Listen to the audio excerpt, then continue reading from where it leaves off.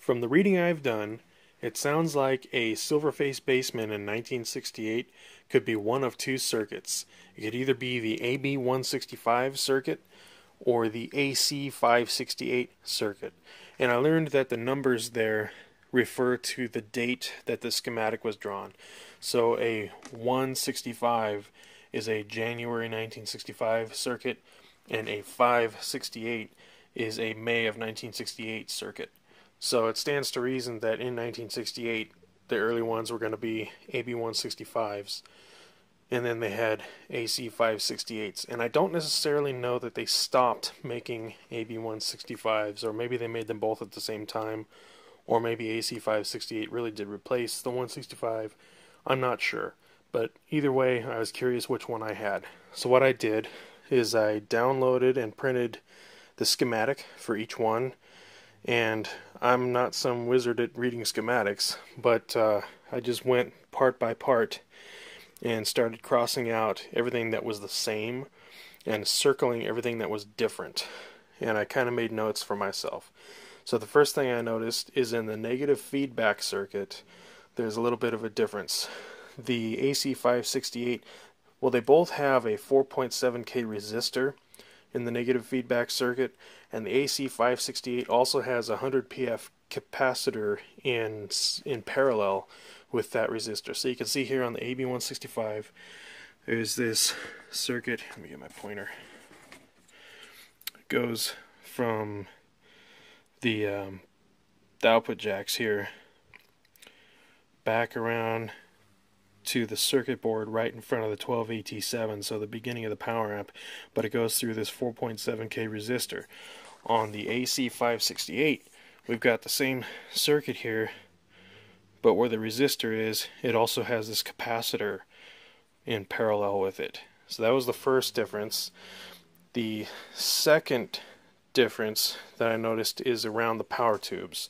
So you can see here on the AB165 circuit, here are the power tubes and uh, you'll notice when I go to the AC568 there's a lot more going on.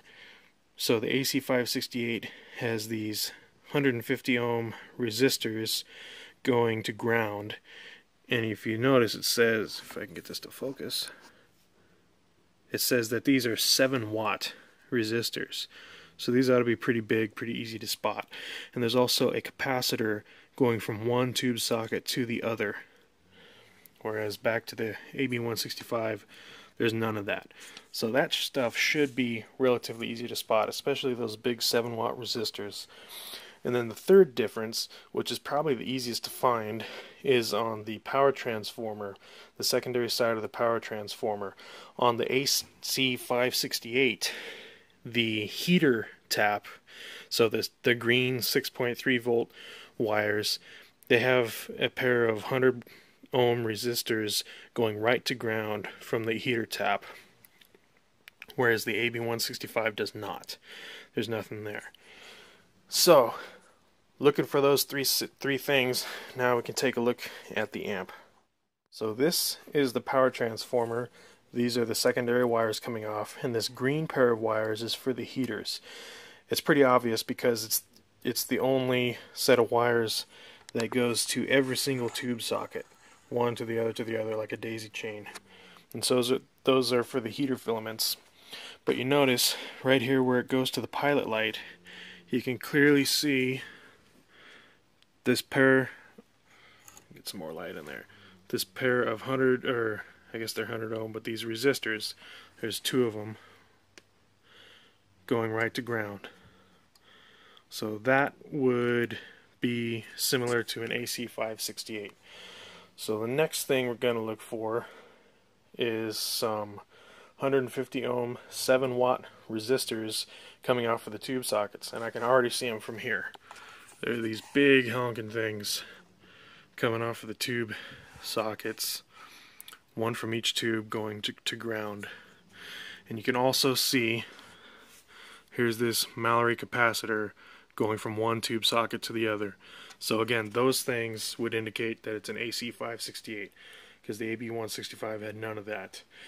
And then the third thing is the negative feedback circuit. So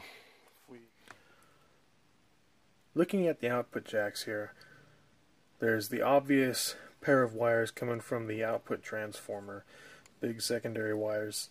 But then there's also this little orange wire that comes off of the extension speaker jack here, right here. And it comes back to the circuit board and it goes right to a resistor with a capacitor in parallel to it. And so I'm taking that to be this pair of components right here. Where am I? Right here coming back in before the power amp. So that would be the AC568 style of negative feedback circuit.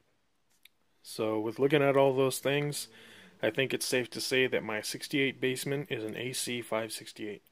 Thanks for watching.